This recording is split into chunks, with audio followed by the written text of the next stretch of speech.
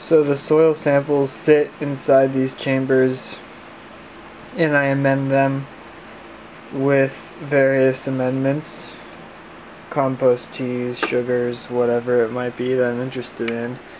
And I basically uh, keep them at 60% water holding capacity. And I can describe how I do that later. Um, and basically, yeah, just monitoring the CO2, which is a proxy for the microbial activity happening in the soil. And uh, really, my goal here is to kind of understand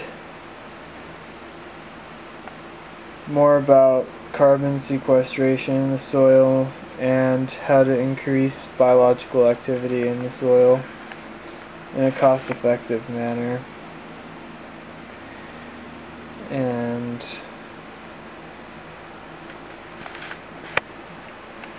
I'll just show you how I collect the soil samples. All the soil samples that I ever deal with get sieved first to 4 millimeters and that's a standard kind of laboratory practice. I'm not really sure why, but it is. That's standard. And so you can see here's some agricultural soil that I have that I'm going to be incubating. And it's quite dead looking, honestly. It's very dry, it's very clayey.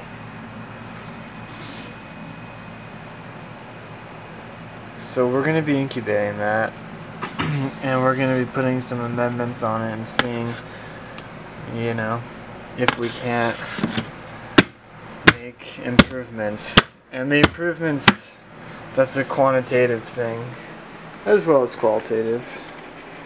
But we'll get more into that later. And yeah, I use these silly old scales because I got them for free.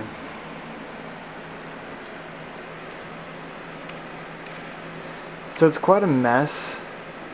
It's really not complicated, it's just looking like a mess because, well, mostly because I had to transform the logic voltage of the Raspberry Pi for the um, relays and to do that required all this mess here.